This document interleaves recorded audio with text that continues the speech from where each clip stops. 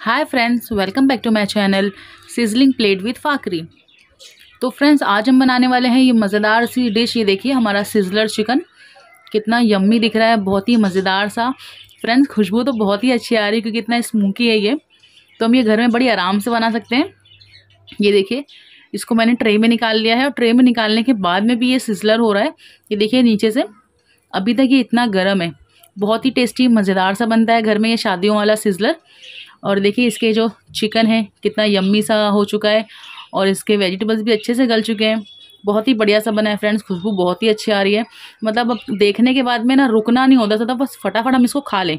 तो चलिए मैं आपको फटाफट बताती हूँ कि शादियों वाला सिजलर बनाना कैसे तो यहाँ पे मैंने एक बाउल में अंडा ली हूँ, एक अंडा लेना है। यहाँ पे मैं ले रही हूँ मैदा। तो मैं ये दो चम्मच भर के मैदा ले रही हूँ, थोड़ा सा नमक ली हूँ। और ये दो चम्मच भर के मैं अरारोट लूँगी। ये देखिए, मैंने दोनों चीज़ों को ले लिया है। दो दो चम्मच। लाल मिर्ची का पाउडर लिया है, एक चम्मच। आधा चम्मच हल्दी पाउडर एक चम्मच धनिया पाउडर। इसको हम सारी चीज़ों को अच्छे से मिक्स कर लेंगे। इसका एक अच्छा सा पतला सा बैटर तैयार कर लेंगे और इसमें पानी हम हिसाब से थोड़ा थोड़ा करके डालेंगे, एक साथ नहीं डालना है। ये देखिए, इतना गाढ़ा हमको रखना है। अब हम इसमें ऐड करेंगे चिकन। चिकन के मैंने बहुत छोटे छोटे से पीस किए हुए हैं, एकदम बारीक छोटे छोटे से। जितने छोटे होंगे, उतने अच्छे होंगे।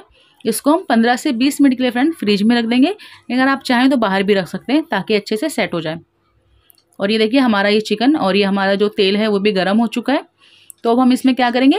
चिकन डालेंगे और गैस को या इंडक्शन को आप जिस पर भी पकाएँ, उसको स्लो रखना है।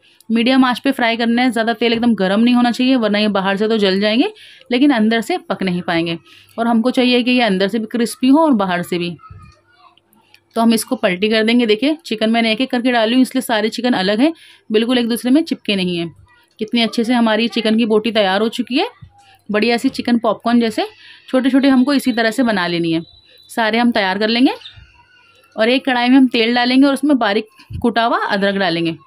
ये देखिए, अदरक को थोड़ा सा हम भून लेंगे और अब इसमें ऐड करेंगे हम चटनी, शेजवान सॉस और फिर फ्रेंड्स, जैसे हम इसमें शेजवान सॉस डालेंगे ना, उसी वक्त हम जल्दी से इसमें थोड़ा सा पानी डाल लेंगे। ये देखिए, इस तरीके से, वरना जो ये चटनी है ना, वो उड़ने लगती है, क्योंकि तेल गर्म होता है तो बहुत ज़्यादा धुआँ हो जाता है।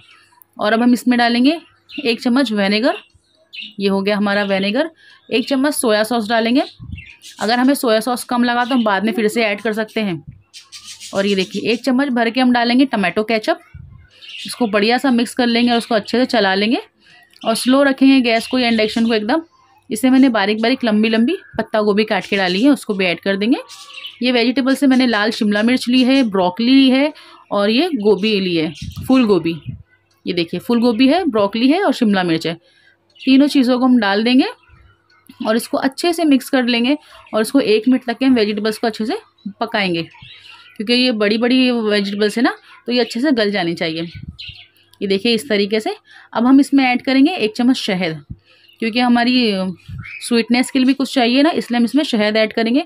फ्रेंड्स, जो शहद का जो ऐड करने का होता है ना, इससे हमें टेस्ट बहुत अच्छा आता है।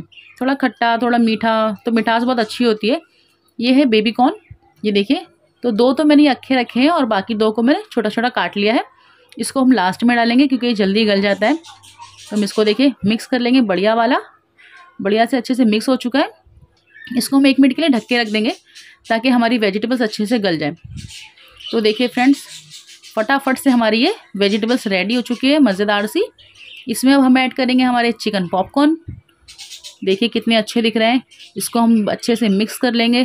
फ्रेंड्स बहुत ही अच्छी खुशबू आ रही है। सारे जो ये सॉसेस है ना, मिलने के बाद में तो कमाल की खुशबू आ रही है। इसको हम थोड़ी देर के लिए फिर से ढक देंगे ताकि ये अच्छे से मिक्स हो जाए एक दूसरे में। ये देखिए, कितना बढ़िया दिख रहा है। कलर भी फ्रेंड्स बहुत ही अच्छा आया है, खुशबू भी बहुत ही अच्छी आ रही है। तो फ्रेंड्स देखिए, ये रेडी हो चुका है, अब हम इसको साइड में रख लेंगे। और ये हमने ट्रे को अच्छे से गर्म कर लिया है सिजलर की ट्रे को, इसमें मैंने मस्का लिया है। इसको अच्छे से मेल्ट होने देंगे। ये देखिए मेल्ट हो चुका है। अब हम इसमें डालेंगे सिजलर जो हमने तैयार किया है। बहुत ही बढ़िया सा, अच्छी सी खुशबू आ रही है। बहुत ही अच्छा शादियों वाला बना है, जैसे हम शादियों में खाते हैं या जैसे हम रेस्टोरेंट से मंगाते हैं। बिल्कुल वैसा बना है फ्रेंड्स बड़े आसानी से देखिए आप लोग घर में बना सकते हैं। ये देखिए हमारा जो एकदम रेस्टोरेंट वाला, शादियों वाला चिकन सिजलर बन के बिल्कुल रेडी हो चुका है। बहुत ही अच्छा दिख रहा है ये। ये देखिए बढ़िया सा हमारा हो चुका है। अब हम इसको फटाफट जो इसकी ट्रे होती है ना, उसके अंदर निकाल लेंगे। तो ये देखिए फ्रेंड्स मैंने ये सिजलर ट्रे में इसको निकाल लिया है। हमारा ये जल्दी से बन के तैयार हो चुका है। एकदम मज़ेदार सिजलर चिकन सिजलर तो फ्रेंड्स आप लोग भी अपने घर में ज़रूर बनाइए, ज़रूर ट्राई कीजिए। ये बहुत ही यम्मी होता है, बहुत ही डिलीशियस होता है। और इसके जो चिकन है, बहुत ही सॉफ्ट है, एकदम जूसी है।